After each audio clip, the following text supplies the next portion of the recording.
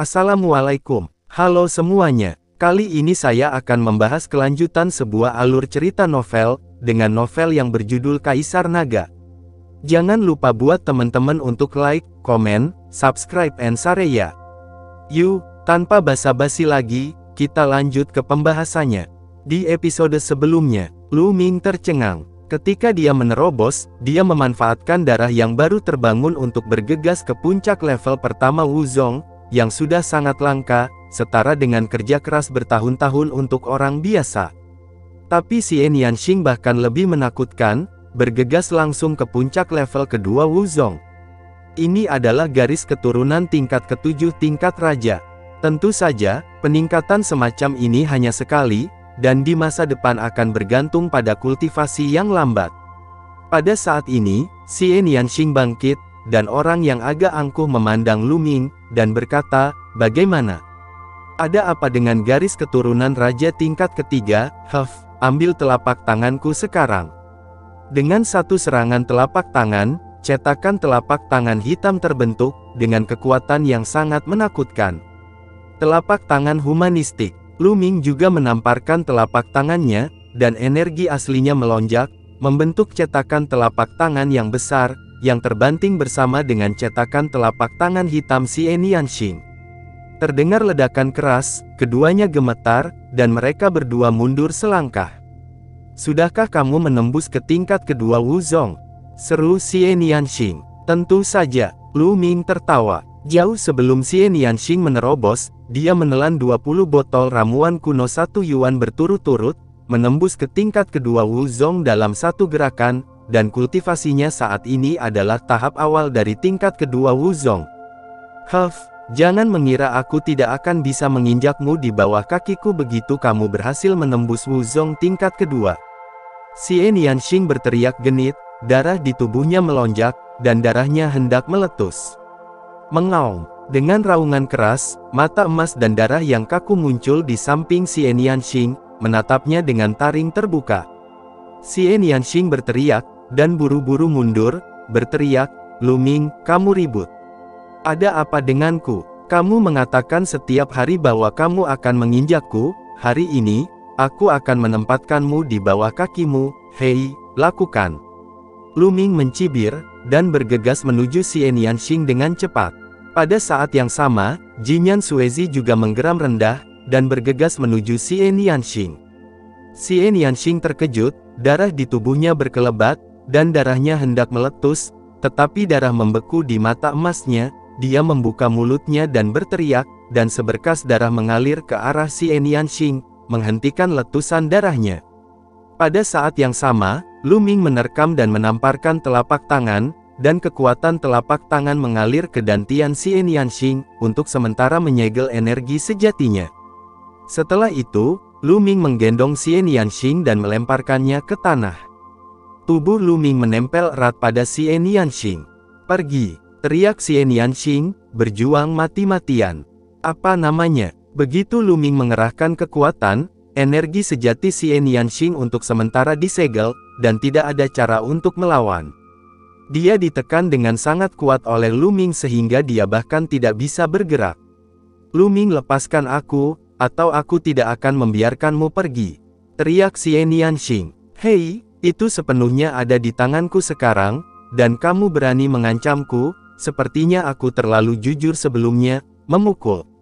Luming tertawa, sluti, dan menamparnya. Tamparan ini langsung di pantat si Nianxing yang montok. Bentak. Suara yang sangat keras terdengar, dan tubuh si Enianxing bergetar seperti sengatan listrik, seluruh tubuhnya membeku di sana, dan sepasang mata besar yang indah menatap kosong ke arah Luming. Tapi Luming tidak berniat untuk tinggal sedikit pun. Si cantik ada di pelukannya, dan bohong untuk mengatakan bahwa tidak ada tanggapan. Luming tidak bisa menahan diri untuk mengulurkan tangan dan mulai berjalan di atas kaki si Enianxing. Luming, Luming, Aku membencimu, kamu melakukannya, aku pasti akan menginjakmu di bawah kakiku. Xie Nianxing merasa lemah di sekujur tubuhnya, dengan perasaan yang tak dapat dijelaskan beriak di hatinya. Dia mengertakkan gigi dan mengutuk dengan suara rendah, seolah-olah dia membiarkanmu memilih. Hanya saja dia mengutuk dan mengutuk, dan air mata mengalir di wajahnya. Pada saat ini, Lu Ming benar-benar kehilangan tangan dan kakinya, dia dengan cepat melepaskan Xie Nianxing dan berkata, Hei, kenapa kamu menangis, aku belum melakukan apa-apa. Tapi tangisan Xie Nianxing seperti sungai dengan pintu air terbuka, tidak bisa dihentikan sama sekali. Yang menangis itu sedih, yang menangis itu menyedihkan, air mata mengalir menjadi untayan, seperti mutiara yang menetes di tanah.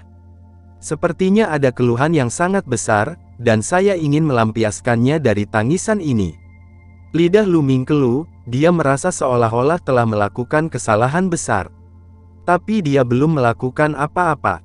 Karena itu, dia hanya bisa berada di samping. Setelah beberapa saat, Xie Nianxing berhenti menangis, menatap kosong ke arah Luming untuk beberapa saat, lalu tiba-tiba mengertakkan gigi dan berkata, Huff, Luming, Aku akan membiarkanmu pergi sementara hari ini, suatu hari, aku akan menginjakmu langkah. Ini lagi, Lu Ming benar-benar terdiam. Aku pergi, apakah kamu datang? Lu Ming bertanya, Huff, tentu saja aku pergi, kamu tidak ingin melarikan diri. Xie Nianxing mendengus dingin dan mengikuti Lu Ming dari dekat. Senyum muncul di sudut mulut Lu Ming, dan keduanya meninggalkan hutan batu. Tentu saja, ada juga Jinyan Suezang di perusahaan yang sama, tetapi Lu Ming mengeluarkan jubah hitam yang sangat besar dan topi bambu, dan membiarkan Jinyan Suezang memakainya, jika tidak maka akan terlalu mencolok. Keduanya memilih arah secara acak, dan berjalan di sepanjang jalan, dalam perjalanan, mereka juga bertemu dengan beberapa seniman bela diri yang tidak memiliki mata panjang, dan diselesaikan oleh Lu Ming dengan santai. Dua jam kemudian, Tiba-tiba, bel berbunyi dari jarak jauh, bergema di antara langit dan bumi. Saya tidak tahu seberapa jauh bel itu berasal, tetapi kedengarannya seperti berdering di telinga saya. Lonceng yang luar biasa, apa yang diwakilinya? Lu Ming penasaran. Xie Nianxing menggelengkan kepalanya, tetapi tidak berbicara. Ayo pergi dan lihat, kata Lu Ming, setelah mengatakan itu, energi sejatinya menyembur keluar, dan Luming membubung ke langit, terbang ke arah Bel. Melangkah ke ranah Wuzong, dia akhirnya bisa berjalan bebas di langit sesuai keinginannya. Darah Xie Nianxing dan Jinyan membeku dan mengikuti Luming. Sesaat kemudian, bel kedua berbunyi. Kedengarannya hampir sama seperti sebelumnya, tetapi Luming dan yang lainnya jelas sedikit lebih dekat ke posisi bel. Luming dan yang lainnya terus terbang menuju sumber bel. Sesaat kemudian, Bel ketiga berbunyi. Kedengarannya berukuran sama dengan dua suara sebelumnya, seolah-olah terngiang di telingaku. Desir, desir. Dari waktu ke waktu terdengar suara menusuk di udara, tidak hanya Luming dan yang lainnya, tetapi yang lain juga mendengar bel dan pergi ke arah bel. Tidak lama kemudian, bel keempat berbunyi pada saat ini, Luming dan yang lainnya melihat sebuah gunung besar. Gunung ini, menjulang ke awan, sangat megah. Dan bel berbunyi dari puncak gunung.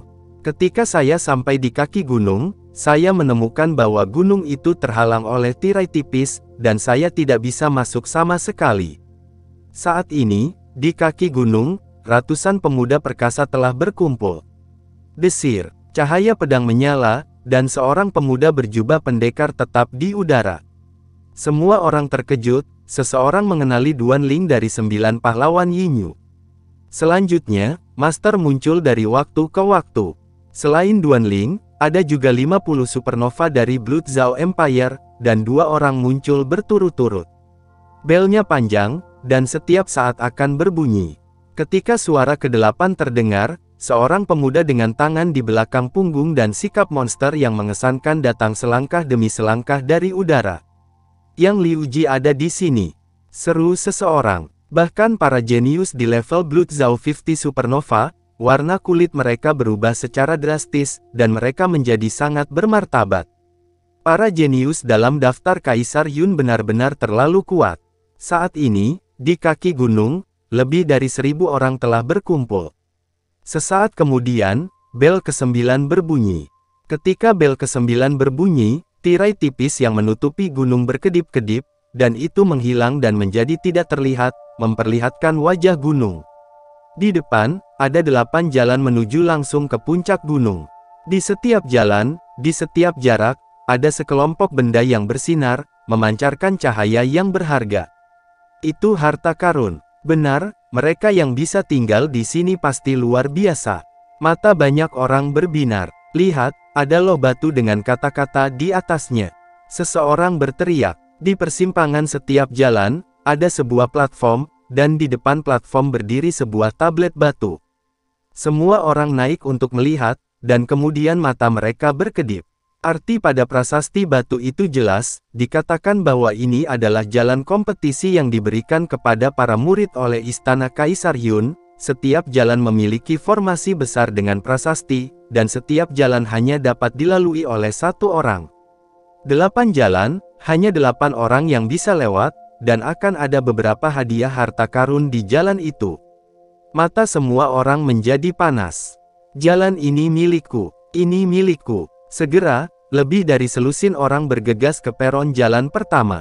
Ledakan, L. Tapi segera setelah itu, sekelompok pukulan berapi-api, seperti matahari, meledak ke arah peron. Lebih dari selusin tuan muda diledakkan menjadi abu bahkan tanpa berteriak. Seorang pria muda melangkah maju, melihat sekeliling. Ini adalah Anoda Enam Kutub. Wajah kebanyakan orang berubah. Jelas, Yang Liuji memulai jalan pertama, dan jalan ini sudah menjadi miliknya. Jalan kedua, seseorang bergegas menuju jalan kedua. Memanggil, batang besi menyapu, dan selusin anak muda berteriak dan tersapu dari peron. Seorang pemuda dengan rambut acak-acakan berjalan ke peron kedua dengan sebatang besi di tangannya. Salah satu dari 50 supernova Blood Zao, Blood Stick Iron Demon. Seseorang berseru, mata banyak orang berkedip, dan mereka ingin bergegas, tetapi iblis besi sangat kuat, dengan satu batang besi, menyapu ribuan pasukan. Memanggil, cahaya pedang, seperti peri terbang dari langit, muncul di peron jalan ketiga. Itu adalah salah satu dari sembilan Master Yinyu, Duan Ling. Ledakan. Di jalan ke-6, seorang pria kuat juga muncul, salah satu dari 50 supernova darah Zhao. Segera, jalan pertama, jalan kedua, jalan ketiga, dan jalan keenam semuanya ditempati. Mereka berempat berdiri di atasnya, dan yang lainnya melihat ke belakang, dan tidak ada yang naik untuk mencari kematian. Adapun empat jalan yang tersisa, persaingan sengit. Sekelompok orang bergegas dan berjuang keras, dan orang-orang terus-menerus jatuh. Sebagai pribadi, ini adalah medan perang Wuzong, dan sulit bagi para pejuang di ranah seni bela diri yang hebat untuk campur tangan. Aku mau satu, bisik Xienian Xing, lalu bergerak menuju jalan kelima. Sidik tangan hebat setan surgawi. Sidik tangan hebat setan surgawi Xienian Xing, tidak tahu tingkat keterampilan bela diri apa itu, karena tingkat kultivasinya meningkat, kekuatannya menjadi semakin menakutkan. Ah, ah, berteriak beberapa kali berturut-turut, tujuh atau delapan Master Wu Zongjing dikirim terbang oleh Xie Xing, dan beberapa di antaranya bahkan meledak di udara. Sangat kuat, siapa orang ini? Seseorang terkejut. Jika kamu tidak ingin mati, keluarlah. Xie Nianxing berkata dengan dingin, sangat mendominasi. Seseorang tidak percaya pada kejahatan dan ingin bergegas, tetapi dipenggal oleh Xie Nianxing. Orang-orang lainnya tidak punya pilihan selain pindah ke jalan lain. Kalau begitu aku akan mengambil satu juga. Luming bergerak dan bergegas menuju jalan ke-8, diikuti oleh mata emas yang berdarah. Mati untukku. Pedang menebas ke arah atas kepala Luming, sangat kuat. Dia adalah seorang seniman bela diri di puncak level pertama Wuzong. Kaulah yang mati. Tombak penekan iblis muncul di tangannya, dan dia menembakkannya. Pria muda itu terbang seperti bola meriam, dan menghilang tanpa jejak. Nah, ini kamu. Tiba-tiba, teriakan dingin terdengar di dekat Luming. Luming mengalihkan pandangannya dan merasa geli, bukankah ini pemuda berbaju brokat yang merebut ramuan kuno Yiyuan sebelumnya? Pria muda dengan brokat menyapu pandangannya ke sekeliling Luming, lalu mengungkapkan cahaya dingin, dan berkata sambil mencibir, Nak, sekarang kamu di sini sendirian, biarkan aku melihat bagaimana kamu mati, Luming tersenyum tipis. Nak, Tidak ada gunanya menjadi keras kepala, mati. Pemuda berjubah brokat itu berteriak, mengeluarkan nafas yang keras dari tubuhnya. Tingkat ketiga Wuzong, pemuda berjubah brokat ini sebenarnya telah mencapai tingkat ketiga Wuzong. Beberapa waktu yang lalu, basis kultivasinya masih berada di puncak level kedua Wuzong, nampaknya dalam beberapa hari terakhir, pemuda di Jinpao juga melakukan petualangan yang membuat basis kultivasinya menerobos. Kematian, cahaya ungu pada pemuda berjubah brokat berubah menjadi keemasan dalam sekejap, dan sebuah telapak tangan meledak, dan seekor naga emas asli terbang keluar dan bergegas menuju Luming. Luming bahkan tidak melihatnya, dan hanya menggambarnya dengan satu tembakan. Naga emas asli tampak seperti terbuat dari tahu, dan hancur berkeping-keping oleh tembakan Luming. Cahaya tombak yang keras terus menyapu ke arah pemuda berjubah brokat. Bagaimana ini bisa terjadi? Pemuda berjubah brokat itu berteriak tak percaya. Kultivasinya telah menembus tingkat ketiga Wuzong, dan Luming masih sendirian, dia pikir akan mudah untuk membunuh Luming, tetapi dia tidak pernah menyangka bahwa keterampilan bela dirinya yang paling dibanggakan dihancurkan oleh Luming dengan satu tembakan. Pada saat ini, dia berteriak, keluar dengan sekuat tenaga, dan ingin melawan.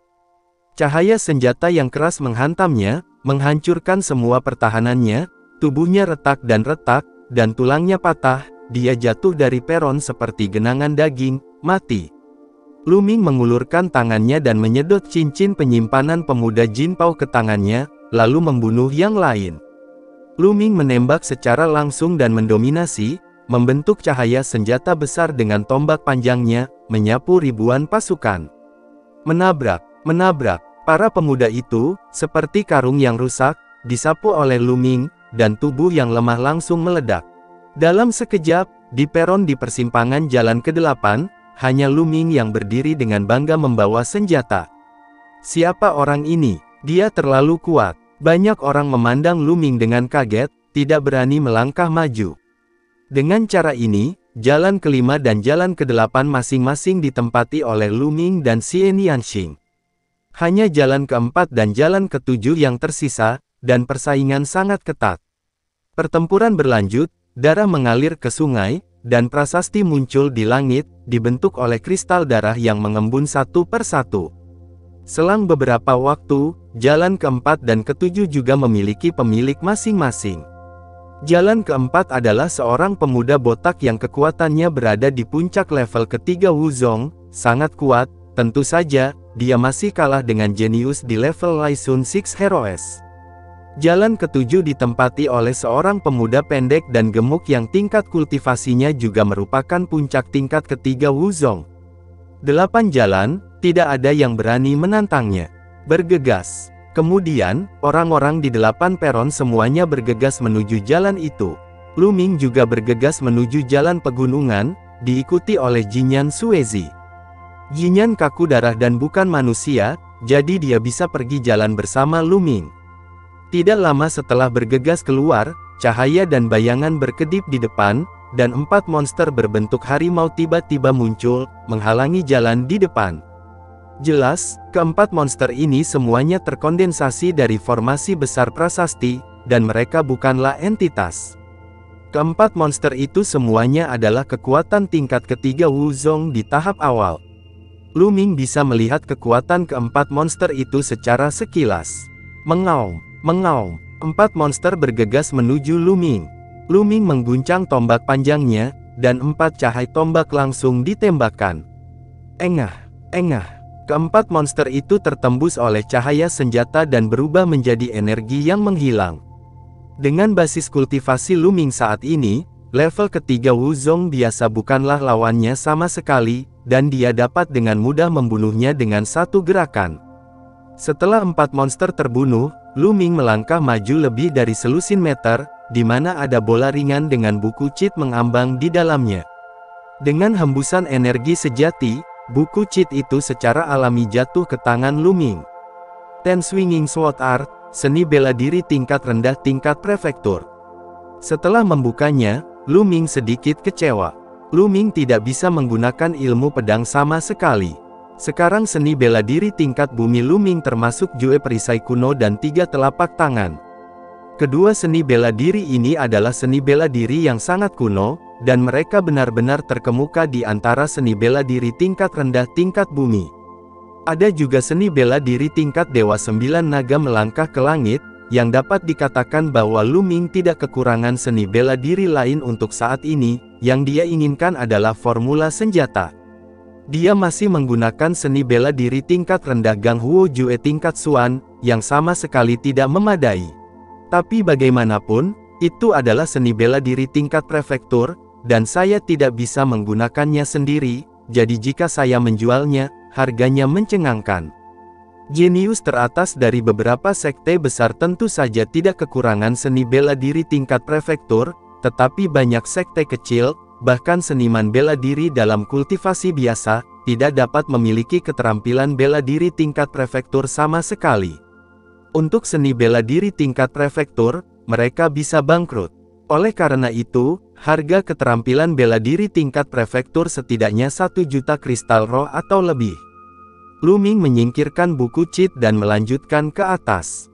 Setelah berjalan lebih dari 100 meter, cahaya menyala, dan monster lain keluar. Kali ini, delapan monster dari tahap awal level ketiga Wuzong. Masih tidak ada halangan bagi Luming. Memanggil, memanggil, delapan tombak menembus, dan delapan monster terbunuh. Di depan, ada kelompok cahaya lain. Kali ini, dalam kelompok cahaya adalah pedang senjata spiritual, yang merupakan senjata spiritual tingkat atas tingkat 4. Luming menghela nafas, mengapa semuanya berhubungan dengan pedang? Namun, itu adalah senjata spiritual tingkat 4 tingkat tinggi, dan harganya tidak lebih rendah dari ilmu pedang 10 ayunan, jadi Luming secara alami menyimpannya dengan cepat.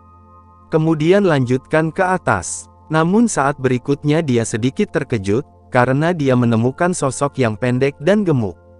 Itu adalah pemuda gemuk di jalan ketujuh. Saat ini, Lu Ming menemukan bahwa jalan ke-8 sebenarnya akan bergabung dengan jalan ke-7 dan bergabung menjadi satu jalan.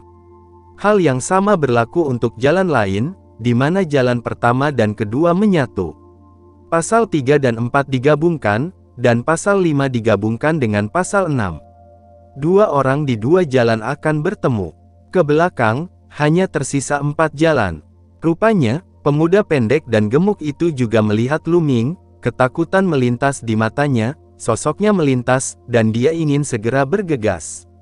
Tapi di titik fusi kedua jalan, cahaya berkelap-kelip, dan monster keluar satu per satu.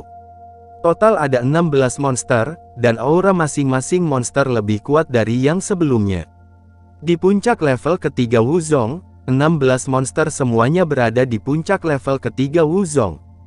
Begitu ke-16 monster itu muncul, mereka bergegas menuju pemuda pendek dan gemuk itu, untuk sementara, pemuda pendek dan gemuk itu terlibat perkelahian yang sengit. Luming bergegas mendekat, dan menembak satu demi satu.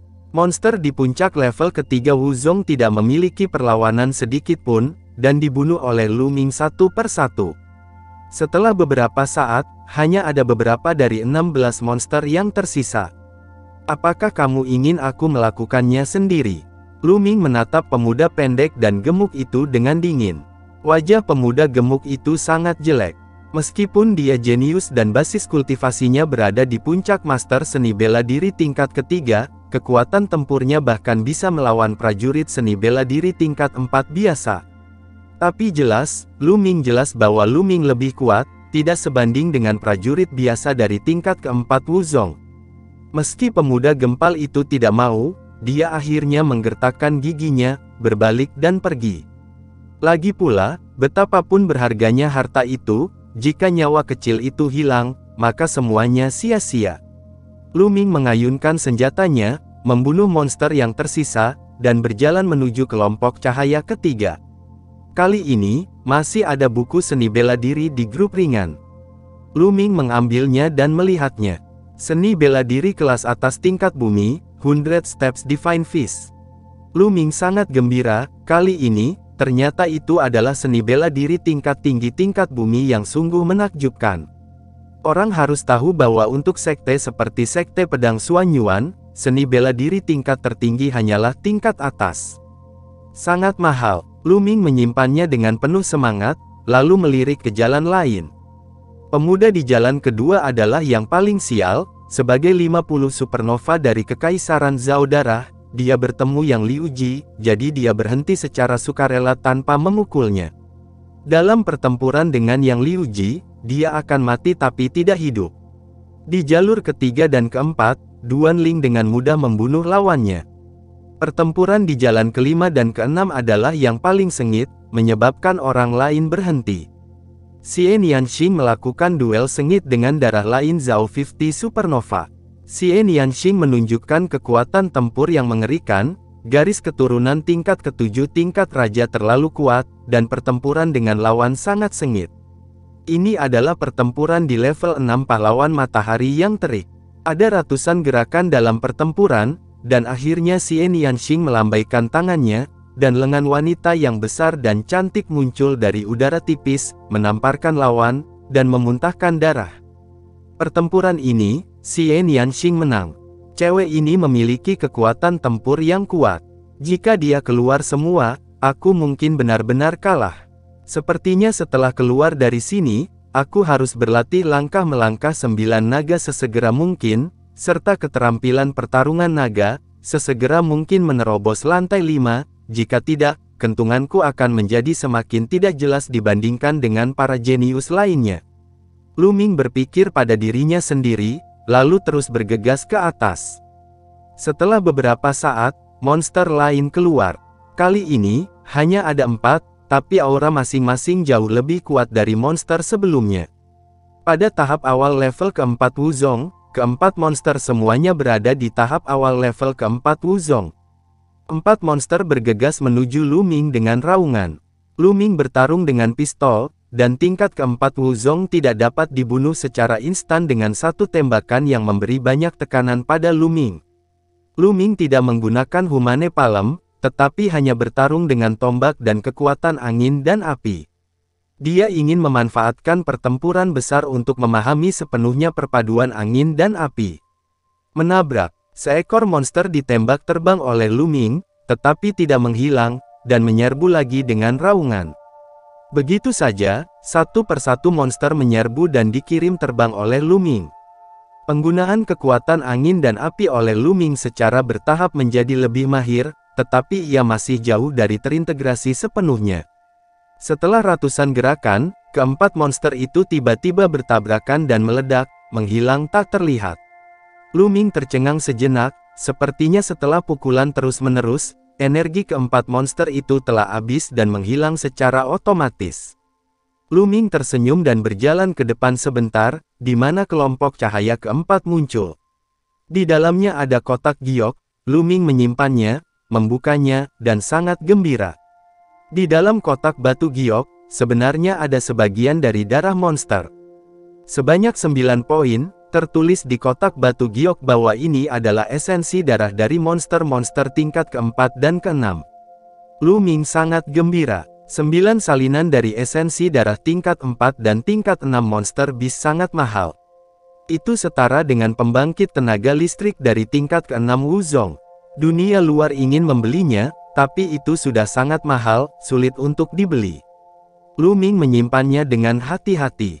Terus bergerak maju, dan segera, delapan monster dari tahap awal level keempat Wu Zong muncul. Lu Ming masih menggunakannya untuk melatih senjatanya, dan setelah beberapa saat, delapan monster itu meledak dan menghilang secara otomatis.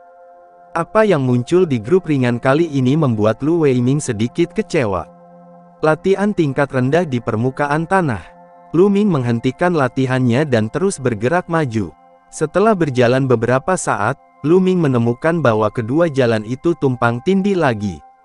Di depan, Xie Nianxing berdiri diam, seolah menunggunya. Xie Nianxing melirik Luming, berjalan ke depan tanpa mengucapkan sepatah kata pun.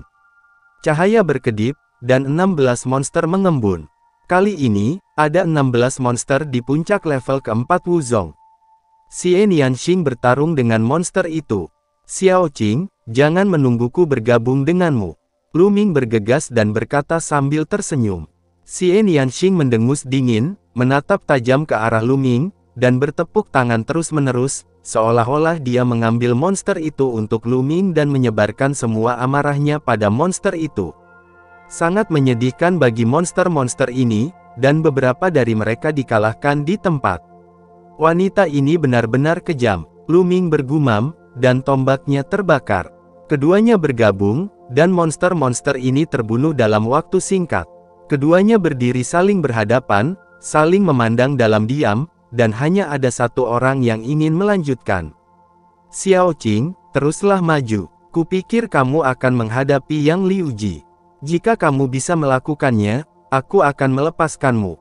Lu Ming tertawa. Tidak perlu, aku bukan lawan Yang Liuji, aku akan memberimu kesempatan ini, tapi izinkan aku memberitahumu, jika kamu kalah dari Yang Liuji dan kehilangan harta tertinggi, aku tidak akan pernah berakhir denganmu, Xie Yanxing menggertakkan giginya.